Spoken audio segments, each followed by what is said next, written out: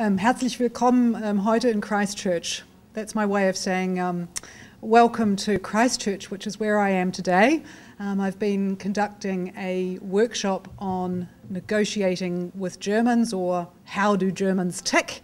Um, I'm Monique Surges and I'm the CEO of the New Zealand German Business Association, which is the um, trade office for helping German companies come to New Zealand and New Zealand companies going to Germany. So everything we do um, is focused around uh, these two countries.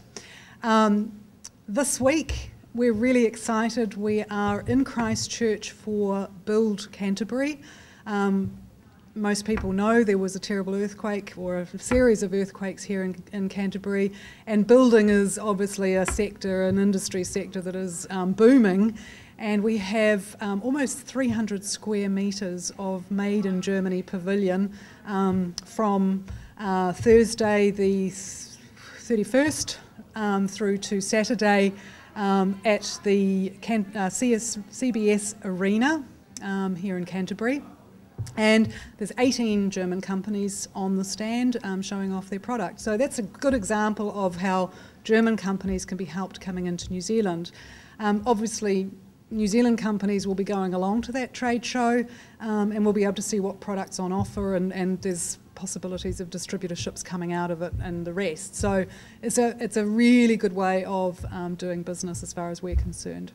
Um, we also help New Zealand exporters and that probably it gets forget, forgotten quite often. Um, we're funded from Germany, um, partially, um, but we are here to also help do business the other way, so to increase um, trade with Germany.